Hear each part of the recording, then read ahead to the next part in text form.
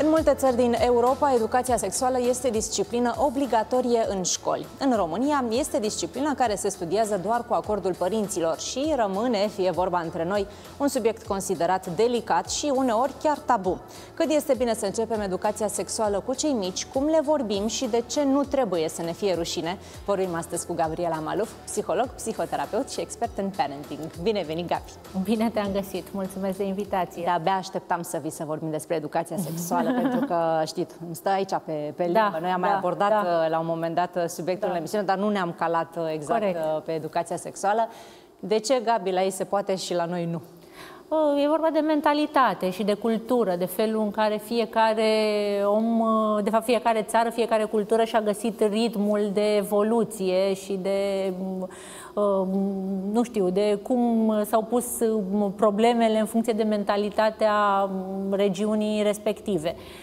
La noi asta e evoluția, cam aici suntem, dar după cum bine știi, și la noi se fac pași uh, uh, înspre această um, discuție, înspre educația sexuală pe care să o uh, facem și acasă, să o facem și la, și la școală. Încă um, avem o bulă foarte mare de populație care consideră că nu este în regulă, care consideră că uh, cumva le dai idei copiilor. Da, este, da. Îi înveți la prostiști, cum se spune. Da, da, da, da. Din păcate, oamenii uh, cresc doar propriilor copii, uh, nu sunt angrenați în grupuri de copii, cum suntem noi cei care lucrăm în școli sau în locuri unde se regăsesc foarte mulți copii și noi știm foarte bine ce știu și ce nu știu copiii, adică indiferent de ce vorbesc părinții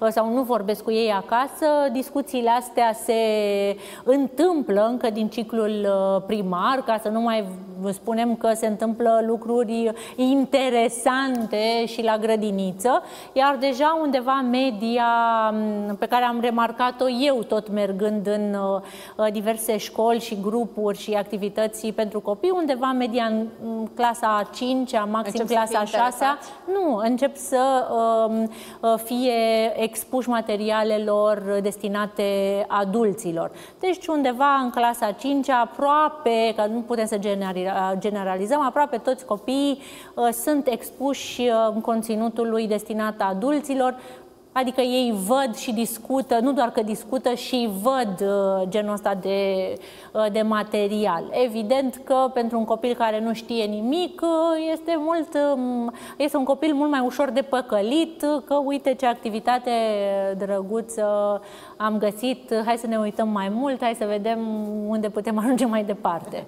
Oricum nu ar trebui să punem doar pe umerii școlilor responsabilitatea da, da. educării copiilor în acest sens. Da este disciplina, iată, doar cu acordul părinților, da. se poate face în școală, da. dar educația trebuie să pornească, așa cum sunt cei șapte ani de acasă, da. trebuie să pornească în familie, da? da?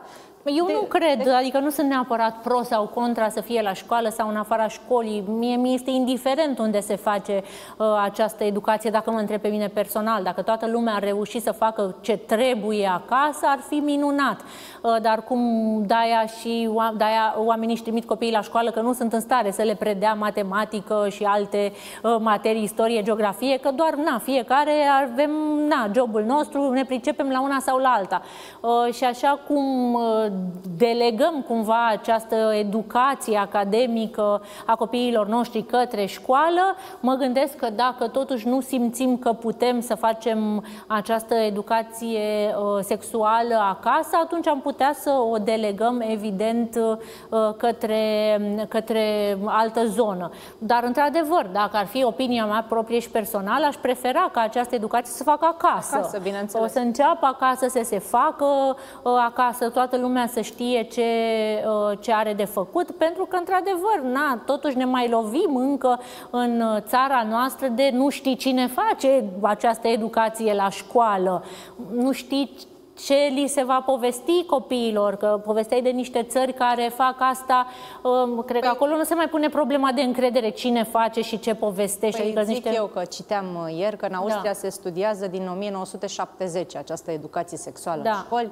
în anumite țări nordice tot din 1970 da. și uite că la noi uh, încă în 2021 da. Uh, ne pitim așa după, după un copac, ne este rușine să pronunțăm până da. și cuvântul sex. Da, și probabil. Este așa, e da, da, înglobat, da, da. așa știi, de... Bă... Din păcate, eu sunt convinsă că mai toți cei care nu vor să um, uh, fa se facă educație sexuală în școli nu o fac nici acasă. Cu siguranță, da. Uh, și da, le dau și lor dreptate și credit că nu pot să arăți cu degetul într-o singură direcție. Uh, nici și eu, probabil uh, fiind cetățean, locuitor al acestei țări, ar, aș vrea să știu cine face uh, această materie la școală și care este materialul uh, prezentat. Adică da. nici eu nu pot să spun că am încredere 100% de cum va lua uh, da, da, dar tu ce formă va avea. crezi că sunt părinți care așteaptă să da. facă școală educație sexuală pentru că lor le este rușine și nu uh, Da, sunt părinți, să vorbească da, sunt asta? părinți, experimentez lucrul ăsta, dar să știi că sunt părinți uh, care nu vor neapărat să externalizeze, să delege acest, ci vor cumva vin și se sfătuiesc cu noi. Uite, eu nu, parcă nu mi-e la îndemână să fac lucrul ăsta. Haide să discutăm, începe tu cumva, învață-mă și pe mine, dar cumva ei vor să-și aducă subiectul înapoi acasă. Deja un părinte care spune, nu, nu știu, eu sunt crescut altfel, nu mi-e confortabil. Deci vine lor? Uh, uh, deja e un pas în plus, vine și îți cere ajutorul, cumva să-l ajut, să faci și tu ceva, dar uh, cumva să facă și el acasă. Adică e o diferență mare dintre părintele care zice, nu, da. mă, fă tu ceva, dar după aia ajută-mă și pe mine, uh, și părintele care spune, eu nu vreau deloc. De felul în care au fost ei crescuți, vine din educația lor? Uh, toți am fost crescuți așa, da? haide să, uh, eu cred că, na, având și o experiență vastă de oameni cu care lucrez, nu știu dacă am 0,00%, 1% persoane care uh, sunt dezvolte și dezinhibate și care vin natural să vorbească uh, despre, uh, despre acest subiect. Da, sunt persoane care rămân în zona aia, blocate în zona 8-12 ani, care fac glume cu tentă sexuală și râd la fel cum râd copiii în bănci la școală. Asta nu înseamnă că ești dezinvolt și că poți să vorbești, ci spui un banc, ți se pare comic și râzi și tu îți uh, eliberezi frustrarea și ha, ha, ha, râsul cu ceilalți. Asta nu înseamnă că vorbești și evident că nu faci bancul de față cu copiii. Faci Normal. acolo în grupul tău și simți că parcă ai făcut ceva. Să vorbești despre educație sexuală, despre sex și despre uh, uh, proces și da. implicații, da Asta e altceva și îți spun că am întâlnit mm, extrem de puține persoane care reușesc să facă acest lucru. Și cum începem să le vorbim uh, copiilor și de la ce vârstă? Mm, eu sunt adepta de a crește copilul în spiritul uh, iubirii propriului său corp. N-ai cum să-ți înveți copilul să-și iubească corpul dacă tu nu-ți iubești propriul tău corp. Adică dacă copilul te vede că te ascunzi, că te acoperi, uh, că, te acoperi, că e ceva rușinos, rușinos, ceva neplăcut, poate ai câteva kilograme în plus, poate nu ești super confortabil cu felul în care arăți, dar până în una alta, ăsta e corpul tău pe care îl ai uh, și uh, e așa cum e. Uh, părinții care sunt foarte pudici dau mesaj copilului că este ceva rușinos, corpul lor este ceva rușinos.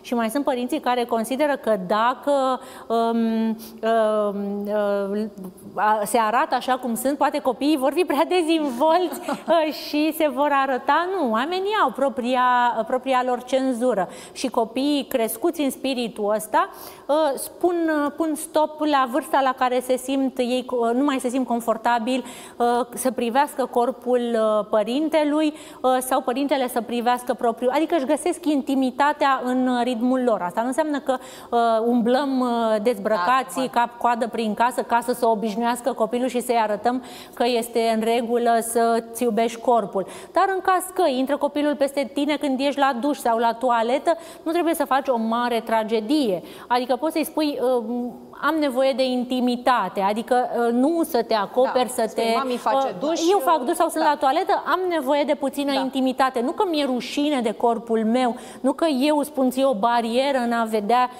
a mă vedea pe mine, ci pur și simplu e nevoia mea de intimitate. Și atunci și copilul o să învețe același lucru. E ok dacă, na, din greșeală a deschis cineva ușa, dar eu spun da. Stop, găsește-ți porția ta de intimitate. Adică cam acolo e echilibru. Nici să umblăm uh, uh, Adam dezbră... Exact, ca Adam și Eva, doar de dragul de a-i da o, o lecție și de a învăța un concept, dar nici de a ne rușina atunci când uh, suntem surprinși uh, în ipostaza de a fi la baie uh, și să spunem, vai, nu ai... știi că mai sunt copii care uh, privesc pe gaura chei la, păi, la baie? evident că privesc pe gaura chei pentru că sunt curioși. sunt curioși și pentru că n-au avut voie și că li se pare că e ce e acolo uh, diferit. Uh, și asta am remarcat, că copiii, de exemplu, care au avut parte uh, de această experimentare, am văzut-o și pe mama, l-am văzut și pe tata, nu au curiozități la grădiniță sau la școală. Eu văd curiozitățile astea în fiecare zi la copiii care se uită pe gaura cheii și care n-au avut această posibilitate de a merge cu colegul de clasă la toaletă, hai arată-mi și tu că ți arăt și eu. Uh, lucruri care, na, ca părinte după aia te gândești, Doamne ferește, unde ajunge mai departe. Dar dacă copilul cam știe despre ce e vorba, nu mai are curiozitate să întrebe pe colegul ce ai tu acolo. Dar ia spunem că ce vine la un moment dat uh, celebra întrebare în viața oricărui uh, părinte, mami sau tati, eu cum am venit pe da. lume, da. ce le spunem uh, atunci? Le spunem că... adevărul adevărat sau mergem pe povestea cu Barza, Ștrumful sau cine l-o fi adus pe lume? Uh, să știi, da, pe cu povestea cu Barza avem toate șansele să fie și el păcălit la un moment dat, uh, nu o să ți se întâmple nimic, adică cineva poate să-l păcălească, că oricum n-ai cum să faci un copil, că vine cu Barza, adică e foarte ușor, copilul e foarte ușor de păcălit dacă tu îl minți, minți, dacă tu ești primul care îl păcălește. O să spun tot din experiența mea și proprie și de copii cu care lucrez, copiii îmi pun întrebările pe rând. Noi pervertim ideea. Cea mai, cel mai des copiii întreabă cum am ieșit din burta ta. Asta este... Sau cum am ajuns acolo? Sau, nu, nu, nu, nu. nu? Cum am cum ieșit? Am ieșit? Cam asta e prima întrebare. Cum am ieșit eu de, uh, de acolo? Asta este prima lor uh, întrebare. Și atunci noi, în capul nostru, pervertim conceptul și acum trebuie să-i explic cum s-a întâmplat. și cum acolo, ca să zic cum a ieșit. Copilul te-a întrebat doar cum a ieșit. Uh, și cumva, cam de acolo pornește această discuție, undeva la 3, 4, 5 ani, copiii cam pun întrebarea asta. Ulterior, pe la, de la 5-6 ani în sus, încep să se gândească, dar cum am uh, ajuns acolo? Și ce le spune? Uh, sau cum le spunem? Evident că le răspundem științific, în funcție de vârsta pe care copilul, uh, pe, pe care copilul o are. Uh, de exemplu, la 5-6 ani, copilul nu trebuie să știe exact procedeul, ci poate să știe doar științific faptul că ceva a plecat de la tatăl tău, ceva a plecat de la mama ta și din dragostea noastră ai apărut tu, pentru că putem să-i spunem și procesul științific, nu o să-l să țină pierdem. minte. Da, o să-l nu, o să nici nu, nu e atent și nici nu-l interesează. Undeva în jurul vârstei de 8-10 ani ar putea fi interesat foarte clar de procedeul fiziologic. Și atunci, tot în termeni științifici, putem să-i povestim uh, ce se întâmplă și copilul o să fie oripilat, chiar scârbit uh, de ce se întâmplă și o să pună întrebări foarte, uh, foarte ciudate cumva și uh, cât timp trebuie să stai acolo și uh, foarte întrebări da, foarte elaborate, foarte, ela, e, foarte elaborate. Dar uh, și tu ai făcut asta? Oh, plecă de lângă mine! Uh, nu vreau să știu. Dar dacă noi explicăm științific procesul, le explicăm că este o activitate destinată adulților, adică cumva, ok, eu îți explic despre ce e vorba, dar în urma acestei activități se pot întâmpla în lucruri. Asta e cea mai ușoară, că uh, se întâmplă să rămâi pentru o fată însărcinată. Toate fetele se tem că rămân însărcinate și cu toate astea uh, știu că au o posibilitate de scăpare și nu le împiedică să intre în activitatea respectivă. Dar când îi spui unei adolescente că cel mai mare risc este să contacteze o boală cu transmitere sexuală și că e foarte posibil să nu mai ajungă la sarcină vreodată, totodată, pentru că bolile da. care se pot contacta pot, pot să afecta, pot afecta și da. duce la, ste, la sterilitate. E, asta e momentul în care o adolescenta își pune problema vreau să mă angrenez sau nu în activitatea asta, vreau să mă protejez sau, vreau să, sau nu vreau să mă... Sarcina este deja, nu mai contează pentru nimeni, pentru că există metode de salvare, din păcate. Din păcate, orice adolescent știe că într-un fel sau altul pot să evit o sarcină, fie să o evit, fie să o rezolv ulterior. Din păcate, din păcate, dar adolescenții știu asta și deja nu le mai este frică sau teamă. Uh, pentru că uh, asta e cu cei sper, speriem de obicei. Oh, o să rămâi însărcinată. Și uh, să uită adolescenta la tine și zice așa, și tu n-ai auzit de A, B, C, D, da, da. Uh, o, o grămadă de, de da. chestii pe care da. uh, copiii le vorbesc între da. ei și atunci altfel se pune în discuția. Uh, dacă pornești de pe picior de haide să te sperii, Mm, s-ar putea să avem șansa ca uh, adolescentul nostru să se uh, documenteze și să nu mai fie la fel de speriat. Dar dacă eu îți povestesc de pe picior de egalitate cu tine care sunt toate riscurile și de aici, de plecând de la cele fiziologice și medicale, mergând către cele emoționale, că cam aici se rupe firul, atunci avem șanse mai mari ca copiii, adolescenții noștri să înțeleagă despre ce e vorba. Am avut N cazuri în care copiii au fost expuși uh, unor uh, anumite discuții, conversații, propuneri și nu au știut că nu este în regulă. Uh, nu au știut cum, care sunt denumirile fiziologice și medicale ale organelor, uh, organelor lor intime. Poate că uh, se folosesc și alte cuvinte. Se folosesc zicem. cuvintele astea, bă, diminutivele Diminutive, astea da, de da. orătănii, da, da, da, da, da. de prin curtea omului, care după aia le regăsim între picioarele oamenilor. Așa este. Uh, nu e ceva în neregulă, dar nu e, nu e da. ceva în neregulă, da. că, că, Doamne, iartă-mă să spui, spui copilul exact când da. îl speli la baie, să folosești da. tot timpul denumirile medicale. Exact. Adică, da, trebuie să îi le spui că există și alea. Chiar am avut prieteni medici care mi-au spus că am avut adulți, adulți, bărbați adulți care au zis că au o problemă la orătania la... din curtea uh, țăranului X. Adică deci încă vorbeau așa. Încă vorbeau așa și nu știau denumirea. Uh, ei, ai un copil, păi poți să-l păcălești spunându-i denumirea cealaltă. Adică poți, e ușor păcălibil dacă nu îi dai toate informațiile. Și pe aia îl întrebi acasă, dar măi, de ce ai făcut așa? Păi dacă mi-a spus, a, ți-a spus uh, lucrul ăsta. Sau găsesc lucruri. Uite, am avut copii care au găsit pe jos uh, uh diverse lucruri da, da. folosite da, da. Uh, și cu Asta care s-au jucat. Da. Exact pentru că nu știau să despre... Ce este acel obiect, la ce folosește, exact, să nu pui, să nu el. pui da. uh, practic, punându-le cât mai multe informații fiziologic, științific și potrivit vârstei, îi protejăm de ce se poate întâmpla în jurul lor. Sunt copii la grădiniță care se ating, săraci, n-am nici da, nici în mâine nu se da. gândesc că este ceva cu tentă sexuală sau asta să fie scopul. Este curiozitate, dar din curiozitate se pot răni. Și atunci, mm, de da, ce nu este vorba spune... de descoperire, de explorare exact, acolo. Este zona ta intimă, nu o pot atinge decât oamenii care, pe care i-am agreat că te pot atinge.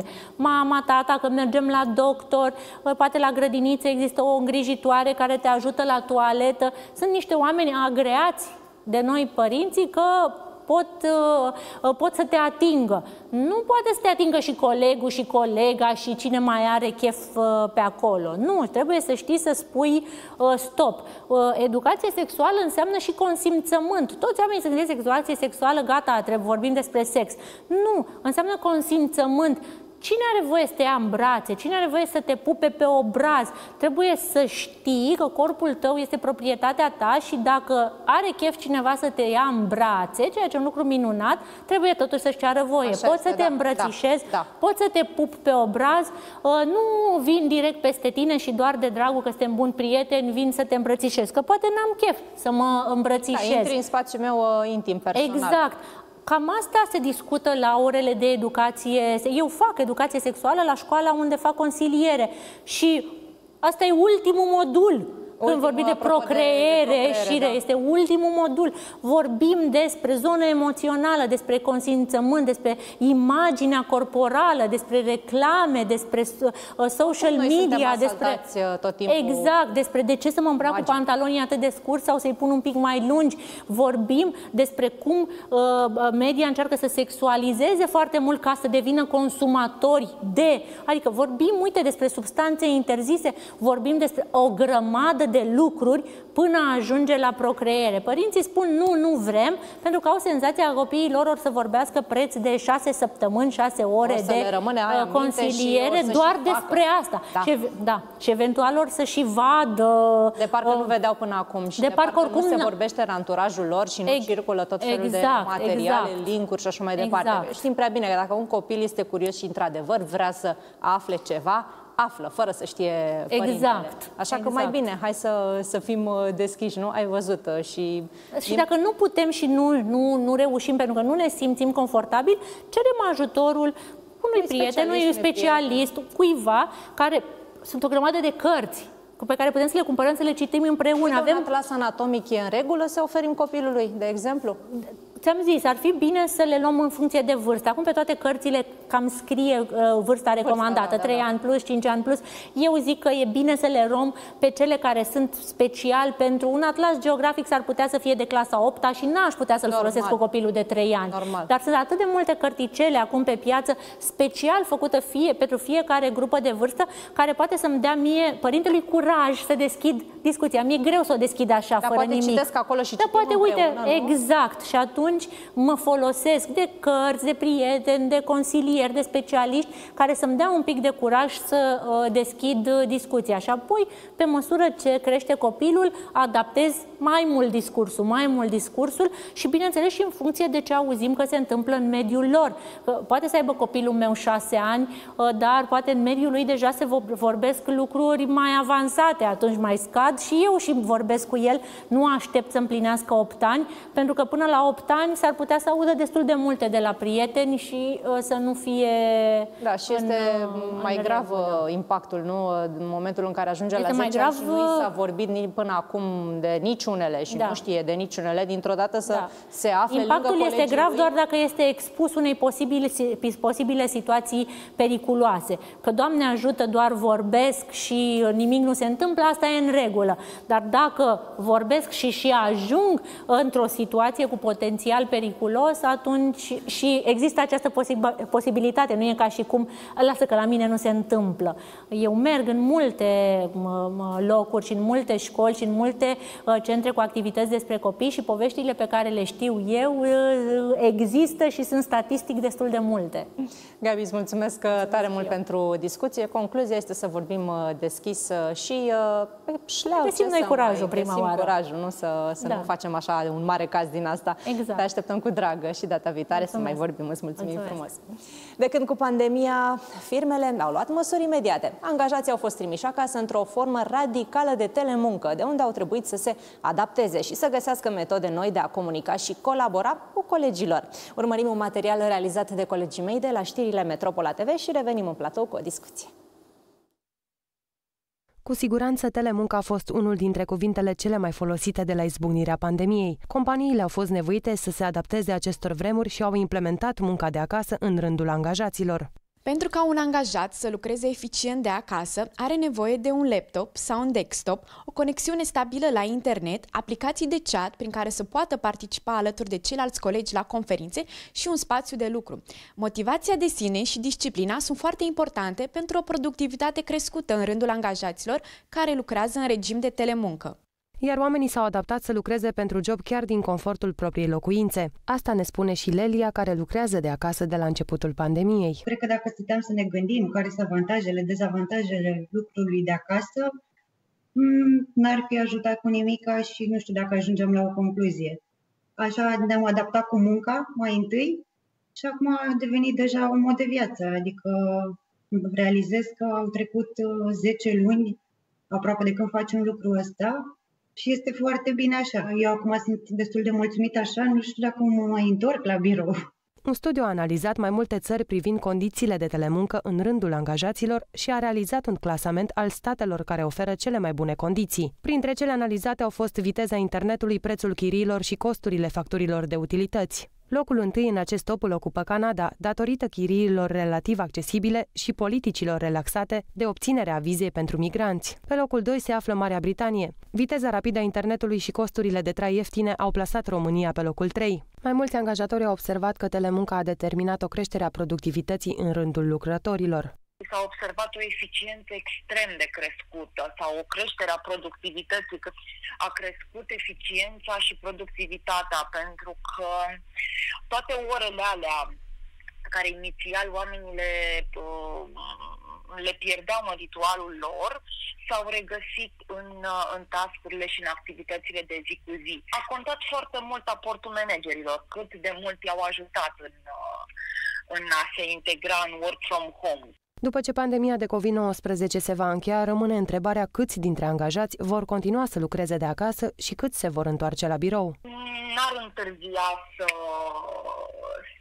să să își roage angajatorul să-i lase să lucreze de acasă. Cred că va fi, vor fi angajatori care vor dori să-și mențină lucrul de acasă și angajați care vor dori să întoarcă la birou. Aici cred că va fi un conflict. Mai nou, guvernul a hotărât că angajații care lucrează de la domiciliu trebuie să primească un ajutor în cuantum de cel mult 400 de lei pe lună de la angajatori. Măsura este văzută cu ochi buni de către angajații în regim de telemuncă.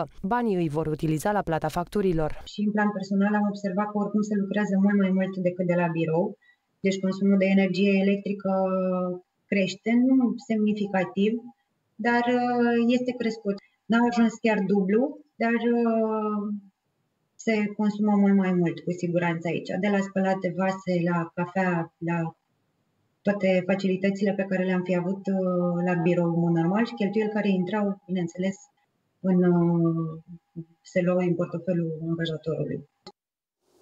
Bun, haideți să vedem. Continuăm discuția în platou. Vorbim despre cu ce a venit la pachet această formă de exercitare a profesiei, care sunt avantajele și dezavantajele telemuncii. Vorbim astăzi cu doamna Irina Voicu, avocat, Barol București. Bine venit, Irina!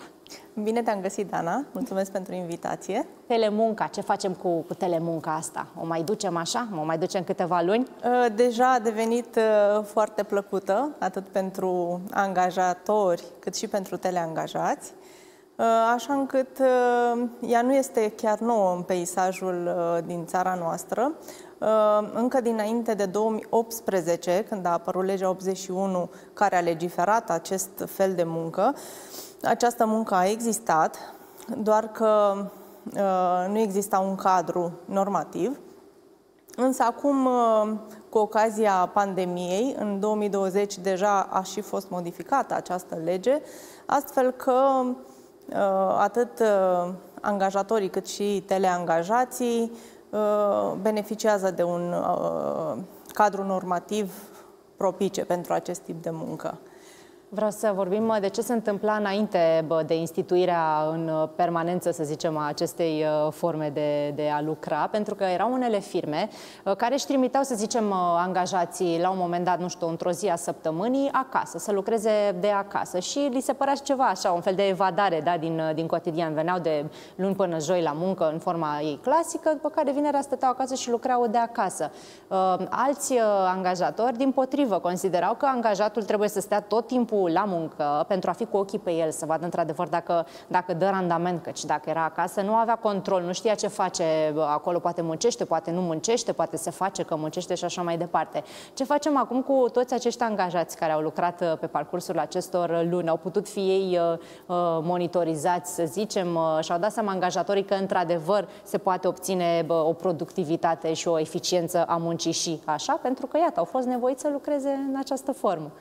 Da, așa este. Și în mod surprinzător, uh, angajatorii sunt foarte mulțumiți de munca prestată în acest mod. Um, trebuie să spunem din capul locului că telemuncă înseamnă că muncești cel puțin o oră pe lună în acest sistem prin mijloace de comunicare uh, la distanță. Um, a nu se face adică putem face o comparație cu munca la domiciliu, dar ele nu sunt același lucru, pentru că munca la domiciliu este reglementată în codul muncii, iar telemunca este reglementată abia în 2018 prin legea 81, așa cum am spus. Ca și uh, diferențe între cele două, uh, prin muncă la domiciliu, uh, putem să angajăm persoane care lucrează acasă nu numai prin mijloace de comunicare uh, la distanță, ci care uh, realizează și alt fel de muncă, manuală, spre exemplu, sau orice altă muncă care nu necesită neapărat uh, un calculator sau un laptop. Uh, de asemenea, uh, vis-a-vis -vis de uh, modalitatea de a urmări angajații și de a-i monitoriza, există destule posibilități pentru angajator. În primul rând, dacă ești teleangajat, trebuie neapărat să se menționeze în contractul de muncă acest aspect. Ehm, chiar amenda pentru nemenționarea în contractul de muncă este de 10.000 de lei pentru fiecare teleangajat. Deci eh, atât angajatorii cât și angajații trebuie să fie atenți la aceste aspecte. Ehm, munca peste programul de 8 ore pe zi, de asemenea, trebuie să figureze într-un act adițional sau eh, într-o într-un acord scris al eh, teleangajatului la solicitarea angajatorului, Uh, posibilitatea uh, de a urmări ce face uh, teleangajatul poate fi realizată printr-un pontaj conform regulamentului intern sau contractului colectiv de muncă sau ambele sau conform contractului individual de muncă, depinde cum se menționează, dar ideal ar fi să se menționeze în toate aceste documente. Uh, sigur că au apărut foarte multe softuri prin care se poate monitoriza activitatea teleangajatului. Nu mai scapă, uh, nu mai scapă nimic cu Nu mai scapă softuri. nimic, exact. Uh, adică sunt atât de, de... E mai rău ca la muncă, știi, dacă da, stăteai la, exact. la, te mai făceai că lucrai, uh, mai ascultai muzică, da, te faptul că stăteai acum... acolo și că ai semnat la intrare și la plecare. Nu mai scăpare, gata. Da. Acum există softuri care înregistrează toate tastele pe care le apeși și când nu apeși... Oh, și asta e ceva rău dacă nu, ar nu trebui, apeși. da, să se știe ce ai făcut în timpul respectiv. Bine, acum nu trebuie nici să exagerăm cu e, lucrurile nu acestea, dar aceste softuri, dacă sunt instalate pe laptopurile teleangajaților, uh, ele mm, comportă și alte măsuri pe care trebuie să și le ia angajatorul și anume trebuie să-i anunțe pe teleangajați despre aceste aspecte, adică nu să-i pună în fața faptului împlinit. Că nu sunt spionați, vorba Exact, aceea. exact, mai ales că ei, în cele mai multe cazuri, telemunca o desfășoară uh, acasă sau poate da, nu te duci undeva la un hotel. Normal, ești practic exact. în intimitatea ta. E ca da, și cum ai da. intra în intimitatea mea fără să-mi cer acordul. Categoric. Poți să fii și în pijamale sau în dezabie și atunci exact. trebuie să știi dacă cineva te normal, vede. Normal, da. Așa. Pe de altă parte, aceste metode intruzive Uh, trebuie să fie în acord cu uh, GDPR-ul, cu regulamentul uh, european privind protecția datelor cu caracter personal ale persoanelor fizice, care constituie un obiectiv principal de luat în calcul de către angajatori. Pe de altă parte, aceste monitorizări prin softuri ale teleangajaților uh, trebuie să intervină dacă alte măsuri nu au dat roade. Este o altă regulă a GDPR-ului. Uh, noi ne ocupăm și cu implementarea GDPR-ului la nivelul societăților și de aceea, uh, având o mare legătură, știm despre ce este vorba. Cu siguranță acest tip de muncă a dat roade pentru că uh, teleangajații pot primi și o sumă de bani cu care să-și acopere anumite cheltuieri, iar um, legiuitorul uh, mai nou nu, mai, nu solicită tot felul de uh, facturi și chitanțe pentru decontarea sumelor respective de către angajator. Deci, de exemplu, dacă eu nu am pe ce să-mi exercit activitatea, n-am un laptop bun sau, nu știu, ce mai îmi trebuie mie, pot să beneficiez de această sumă prin lege? Uh, nu neapărat pentru laptop. În mod normal, angajatorul ar trebui să, să pună se... la dispoziție. Da. Uh-huh. Sau ce intră în, acest, în această sumă? Uh, factura de curent, de internet. Aha, adică deci utilitățile, Utilitățile da? în general, da, utilitățile. Sau parte din chiria pe care o plătește teleangajatul, că poate nu are proprietatea lui, da. sau parte din întreținere. Uh, este treaba lui ce face cu banii respectivi.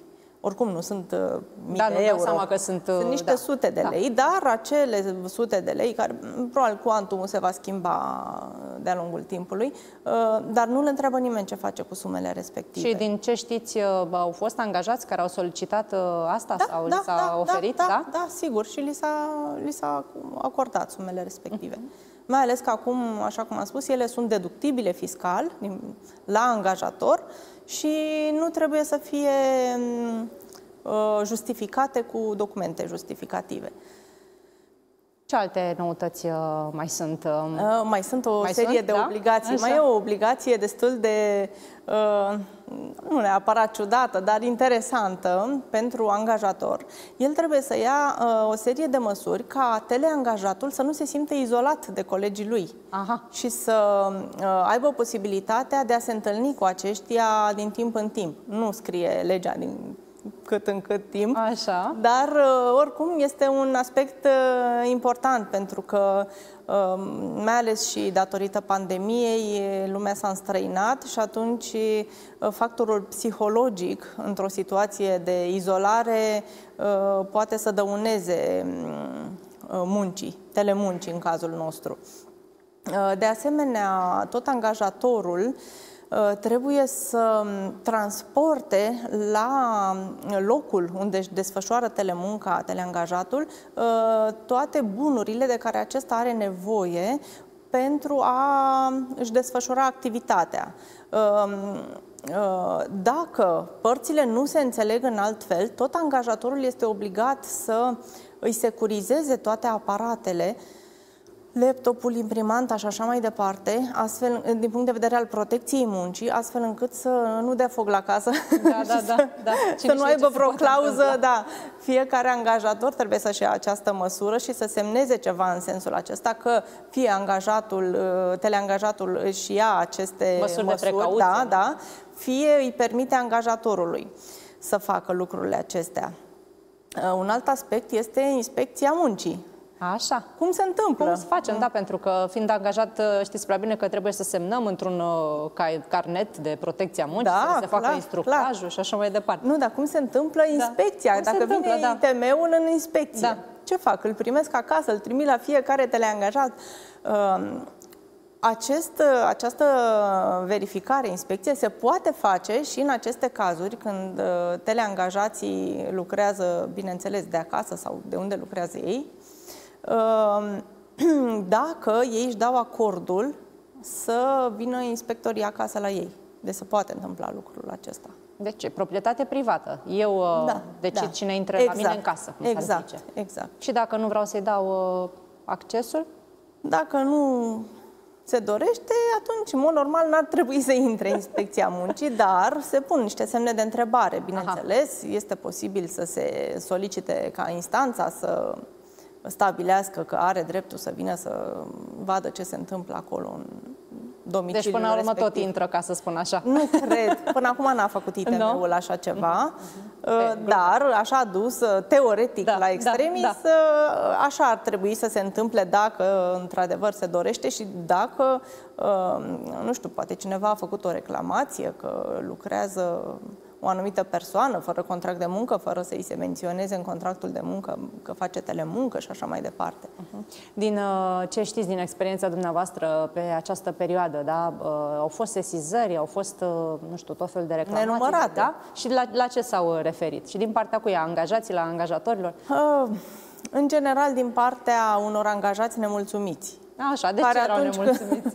nemulțumiți, fie că mm, nu au primit atâția bani cât ți-au dorit ei, fie că nu și-au primit nu știu ce sporuri, fie că, mă rog, din oarece motive au intervenit conflicte cu angajatorul și atunci acești angajați, fie concediați, fie într-un uh, care erau într-o relație anfroa cu angajatorul, au încep să facă sesizări și la sunt, ITM. Uh, sunt rezolvate aceste sesizări? Sesi... Adică se da, iau în da, serios? Da, da, da, da, da. chiar sesizare? sunt rezolvate și vin inspectorii, vin la angajator. Bine, um, în general, uh, angajat, angajatul nemulțumit uh, face sesizări cu privire la toate aspectele și cu privire la alți angajați, am nu înțeles. numai la el. A lui Cornel i-a făcut asta. Bineînțeles. Da, am înțeles. Face de obicei, dacă lui s-a întâmplat ceva, spune că de obicei face așa și atunci vine ITM-ul și uh, verifică zeci sau sute de situații. Ca să nu se plictisească cei de la, de la ITM. Bineînțeles. Ei, că... Nu mai pun la socoteală da. că atunci când vin Chiar și în pandemie s-a întâmplat la clienții noștri să vină câte 5-6 persoane.